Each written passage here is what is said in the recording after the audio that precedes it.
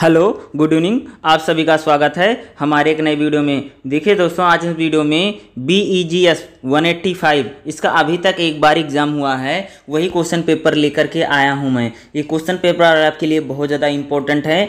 आने वाले एग्ज़ाम में आपका क्वेश्चन कैसे आएगा, आपसे क्वेश्चन कैसे पूछे जाएँगे, इसलिए आपके लिए बहुत ज़्यादा इंपॉर्टेंट हो सकता है और बहुत ज़्यादा बेनिफिशियल हो सकता है भाई, कि एग्ज़ाम में कैसे चीज़ें आएँगी, कैसी चीज़ें पूछी जाएँगी। तो बहुत ज़्यादा इंपॉर्टेंट है इस वीडियो को। लास्ट तक पूरा ज़रूर देखिएगा और मैं पूरा पूरा क्वेश्चन पेपर दिखाऊँगा कैसे आता है। तो आप देख सकते हैं, जून 2022 में एग्ज़ाम हुआ था और अभी तक इस, इसका एक बार एग्ज़ाम हुआ। तो उसी का क्वेश्चन पेपर है, इससे क्योंकि आपको आइडिया लग जाएगा कि एग्ज़ाम का पैटर्न क्या है पैटर्न किस तरीके से आता है क्वेश्चन किस टाइप से पूछे जाते हैं। तो आप देख सकते हैं B E G S one eighty five English language teaching आप देख सकते हैं। इसका जो आपका एग्ज़ाम होगा, सौ नंबर का पेपर होगा। कितने मार्क्स का पेपर होगा?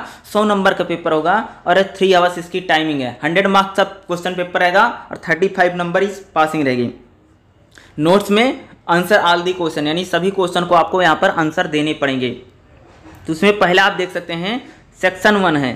पहला क्वेश्चन आप देख सकते हैं शॉर्ट नोट लिखना है, किन्हीं दो पर? दस दस नंबर के ए बी सी डी यानी चार है A B C D four हैं। फोर में से किन्हीं? टू पर।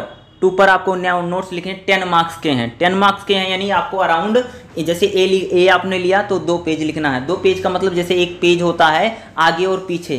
ठीक है? इस टाइप से आप लिख सकते हैं। तो पहला क्वेश्चन आपका रहेगा, इसमें चारों में से आपको लिखना है शॉर्ट नोट लिखना है, पहला आंसर में। दूसरा सेक्शन बी है। ठीक है? यहाँ पर आप देख सकते हैं फिर आपका क्या गया सेक्शन बी है तो सेक्शन बी में क्या answer any two the following question यानी इसमें भी आपको क्या करना है, दो क्वेश्चन का आपको आंसर देना है, ठीक है? ये भी दस दस नंबर का रहेगा। पहला क्वेश्चन आपका रहा, दस नंबर का दूसरा, ये भी दस नंबर का तीसरा, देख सकते हैं क्वेश्चन नंबर थ्री है। ठीक है? Question number three we ten marks का क्वेश्चन फोर तो यानी चार है, चार में से आपको क्या करना है? इसका भी आपको वही सेम सेम एटीज आपको आंसर देना पड़ेगा। दस नंबर के हैं और आपको कोई दो ही करने हैं तो बीस बीस नंबर के हो गए। नेक्स्ट हमारा जो क्वेश्चन रहेगा सेक्शन सी है, ठीक है?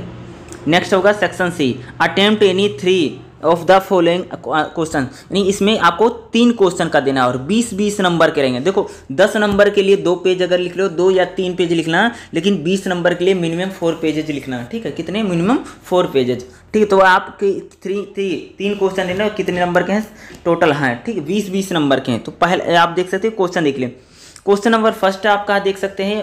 ए बीस नंबर का क्वेश्चन है, बी भी बीस नंबर का है तो इसमें आप कोई भी आपको तीन कर सकते हैं। ठीक है? नेक्स्ट देख लेते हैं। क्वेश्चन नंबर सी है। डी और ई e, यानी टोटल कितने हैं? पाँच क्वेश्चन हैं। पाँच में से आपको कितने अटेम्प्ट करने हैं? कोई भी एनी थ्री ठीक है? आपको क्या करना है? एनी थ्री क्वेश्चन आपको अटैम्प्ट करना है। आप देख सकते हैं। बी ट्वेंटी मार्क्स के हैं। ए बी आप देख सकते हैं ए बी एंड यहाँ पर देखिए। सी डी ई यानी फाइव क्वेश्चन है ट्वेंटी ट्वेंटी मार्क्स के एवरी क्वेश्चन है और अटेम्प्ट एनी थ्री क्वेश्चन तो आपको एनी कोई भी तीन क्वेश्चन अटेम्प्ट करना। तो B G S one eighty five English language जो टीचिंग है, उसका क्वेश्चन पेपर का जो पैटर्न होगा, इस बार भी आपसे इसी प्रकार से ही क्वेश्चन पूछा जाएगा।